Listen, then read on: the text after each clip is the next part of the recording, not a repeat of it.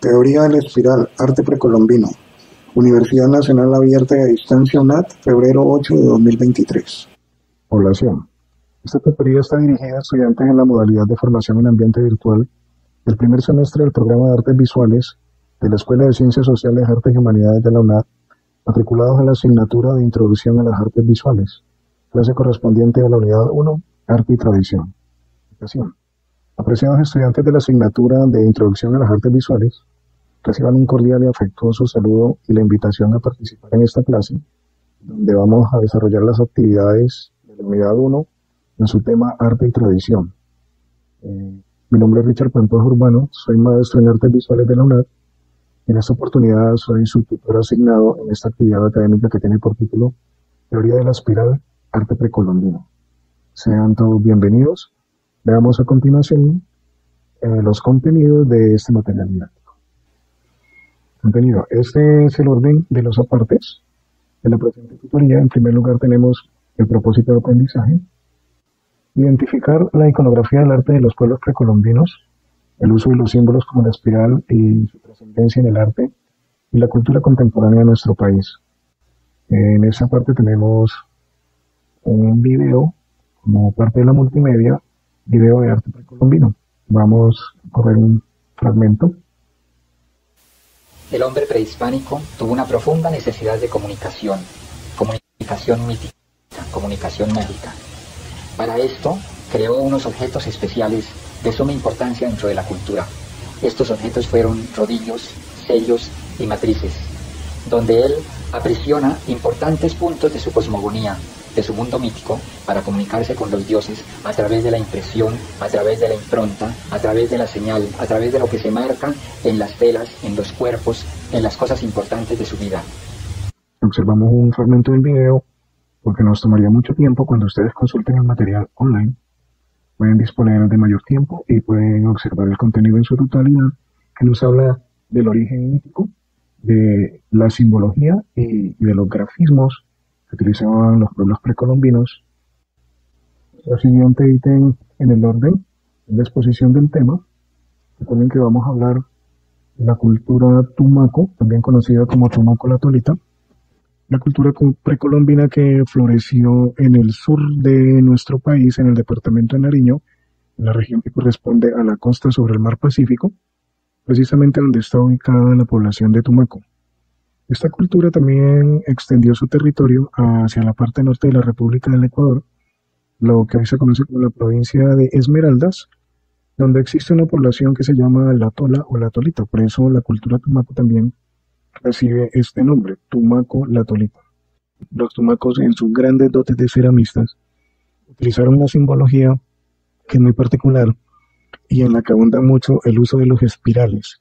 El caso de los tumacos cobra una particularidad especial porque eh, se puede evidenciar la, la referencia que ellos tomaron del entorno natural, de la aparición de unas huellas en forma de espiral que aparece muy frecuentemente en las costas, en la arena de las playas de ese mar Pacífico donde ellos habitaron y que personalmente he tenido la oportunidad de evidenciar en un registro fotográfico en un viaje que hice por la población de Tumaco.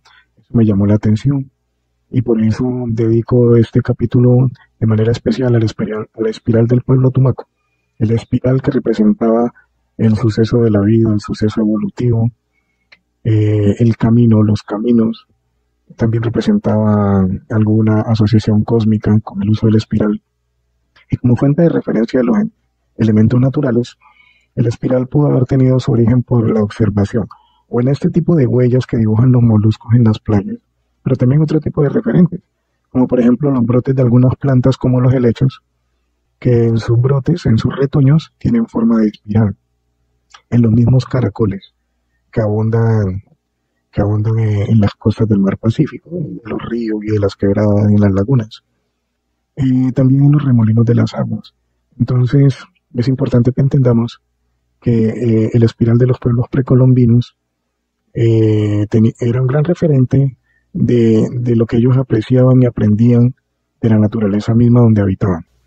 Aquí en la esquina derecha, en la parte inferior, tenemos la representación de una mano con una espiral hacia el centro. Este es un símbolo que vale la pena aclarar, no es exclusivo de las culturas precolombinas. En otras culturas de otros lugares del mundo también aparece este, este objeto que puede haber sido de carácter ritual, un humano con una espiral al centro. En este caso esto hace parte de un sello, un sello elaborado en barro en cerámica, que tenía la particularidad del uso del espiral. Y aquí en la parte, en la esquina superior derecha, tenemos los espirales que les he comentado que producían los moluscos. Y entonces, eh, este es el tema que estoy tratando de hacer entender que tomaban como referencia desde los elementos naturales. Una espiral que no lo hizo un ser humano, una espiral que lo produjo un espécimen de un molusco la playa, pero la figura es perfectamente reconocible, una espiral, y pudo haber sido eh, la fuente de origen de la referencia que tomaron los tumbacos para asociarlo a su iconografía.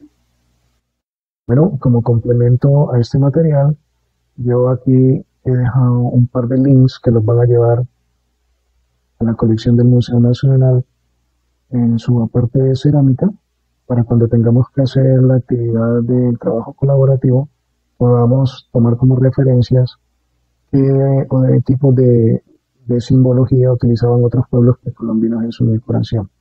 Volviendo aquí a la presentación, también tenemos un link que los va a llevar a la colección del Museo del Oro. Y acá en la colección del Museo del Oro, esto es una eh, herramienta interactiva de Google and Arts. Eh, dejo los links para que sirvan de herramienta de consulta y para que podamos ampliar la información de esta tutoría.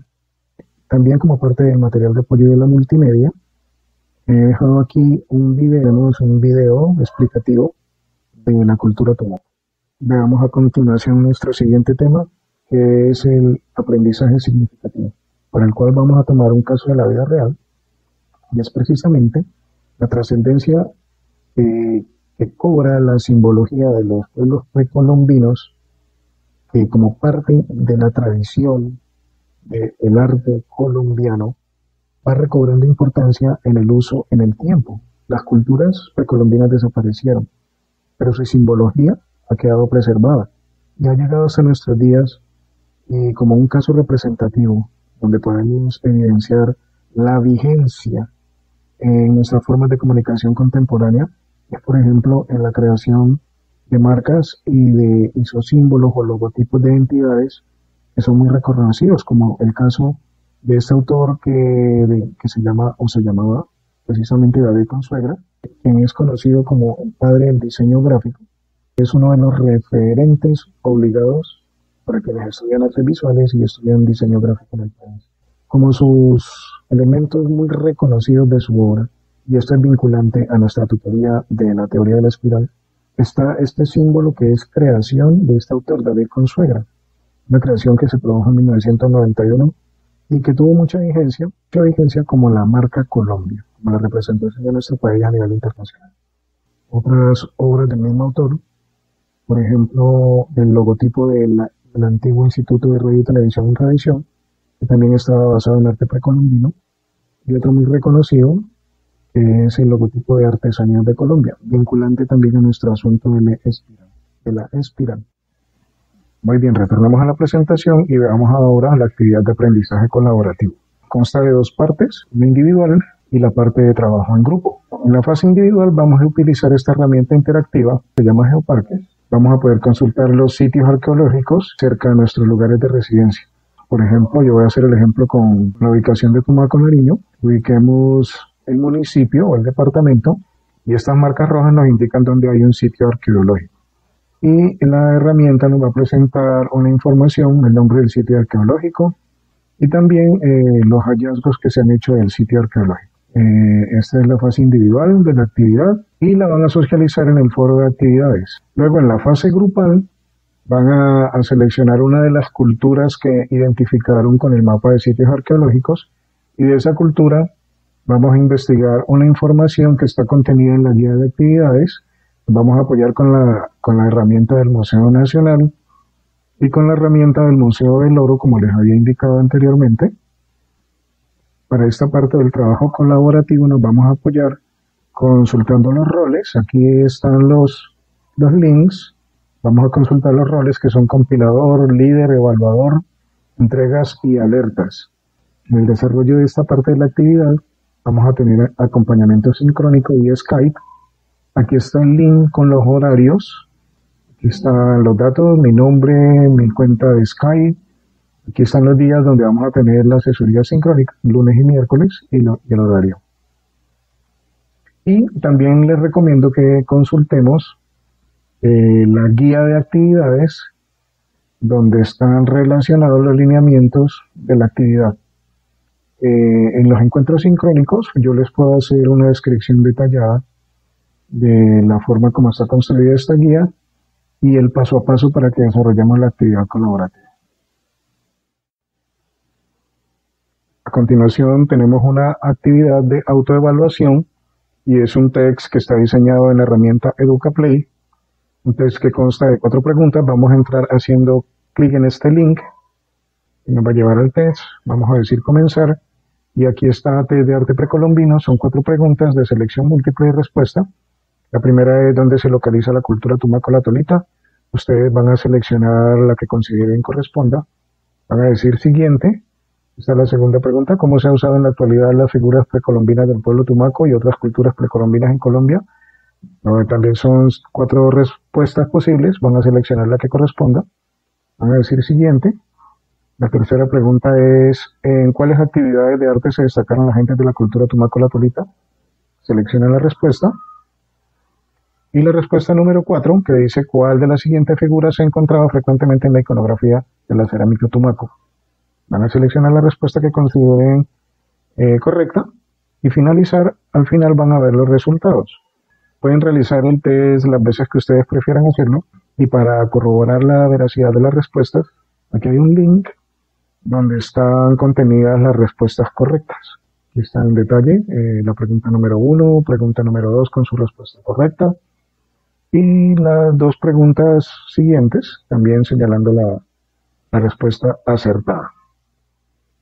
De esta manera vamos a pasar a las conclusiones que hemos redactado para para esta tutoría. La primera conclusión dice que esta actividad nos ha permitido acercarnos al entendimiento de la importancia de reconocer el legado cultural de los pueblos prehispánicos, la importancia de la iconografía precolombina y su simbología. En el caso de la cultura tumaco-latolita, que fue nuestra referencia, nos ha permitido aprender que fue una sociedad avanzada en las artes, en las técnicas de cerámica y de orfebrería, y que ellos utilizaban como símbolo importante el espiral o la espiral y que este ha sido un símbolo que ha trascendido hasta nuestros días como legado cultural del arte tumaco.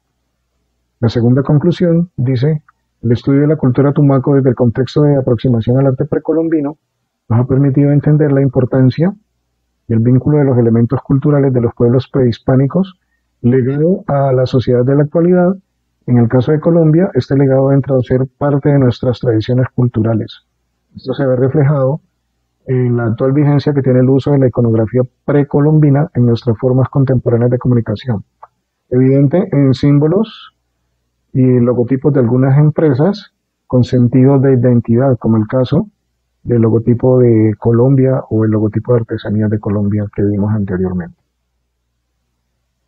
Pasemos ahora a Aquí están las referencias bibliográficas del trabajo.